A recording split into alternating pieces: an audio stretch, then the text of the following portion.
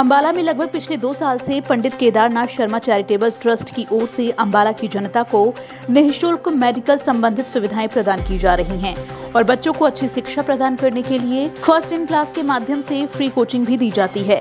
इसी कड़ी के चलते आज अम्बाला के लाजपत नगर में इस कैंप का आयोजन किया गया, जिसमें अम्बाला की मेयर शक्ति रानी शर्मा शिरकत करने पहुँची।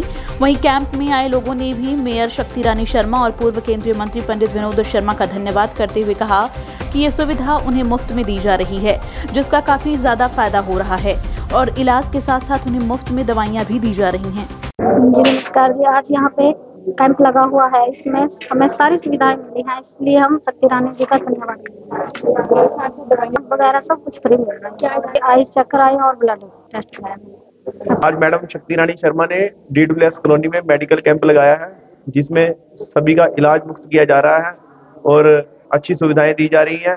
पापा को लेके आया था लेकिन जो भी यहाँ पे उनका आप लोगों का सिस्टम है बहुत अच्छा है। डॉक्टर प्रॉपर देख रहे हैं। मतलब किसी तरह की कोई दिक्कत नहीं है। हर पेशेंट को बड़े आराम से तसल्ली से देखा जा रहा है। इसके साथ जो है वो भी मिल रही है जिसको जैसी प्रॉब्लम हो उस तरह की दवाई दे रहे हैं मेडिकल मेडिकल कैंप जो लगाया गया है शक्ति रानी शर्मा जी की तरफ़ से और विनोद शर्मा जी की तरफ़ से काफ़ी अच्छा रहा है यहाँ पे। मैं अपने पूरी परिवार के साथ आया था यहाँ पे सबने दवाइयाँ ली हैं फ्री दवाइयाँ मिली है मेडिकल फ्री हुआ है। उनका बहुत बहुत धन्यवाद करता हूँ मैं।